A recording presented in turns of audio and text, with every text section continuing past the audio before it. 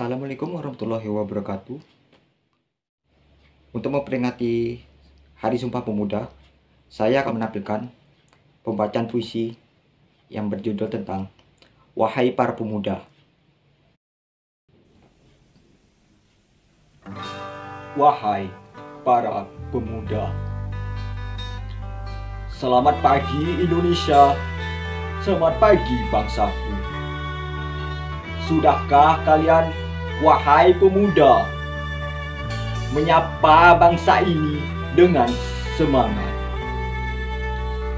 Wahai para pemuda, kalian tidak ingat hari ini hari apa?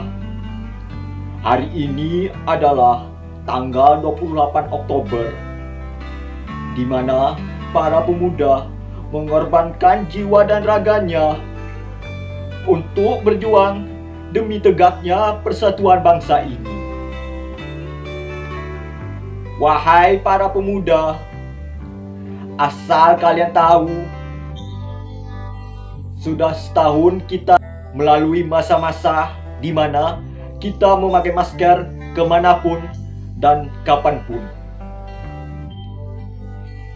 Bangsa ini belum bisa dikatakan baik-baik saja sampai saat sekarang ini. Wahai pemuda masa kini yang hobinya masih keluyuran tidak jelas tanpa prokes. Apakah kalian tidak malu? Malu dengan para pemuda seumuran kalian yang berjuang menjadi garda terdepan selama pandemi ini. Mereka rela jauh dari keluarga mereka demi keselamatan orang banyak untuk bangsa ini.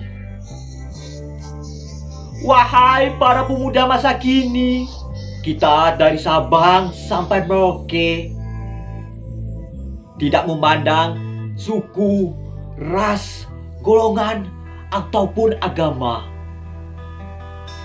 Ingatlah kita sudah disatukan oleh sumpah para pemuda-pemudi.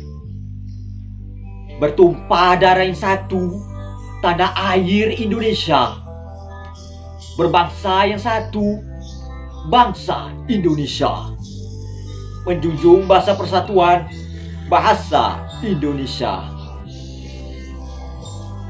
Marilah kita ingat sumpah itu dan hidupkan kembali semangat persatuan yang telah ditanamkan sejak dahulu kala. Cukup dengan menerapkan prokes yang telah ditetapkan oleh pemerintah pada setiap kegiatan. Sudah cukup membantu bangsa ini agar bisa pulih seperti sedia kala. Sekian dan terima kasih.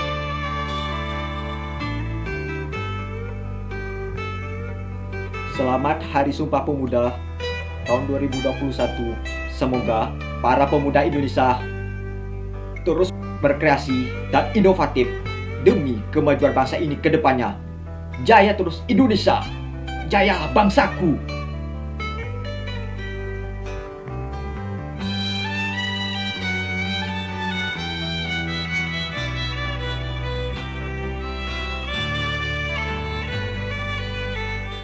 por now.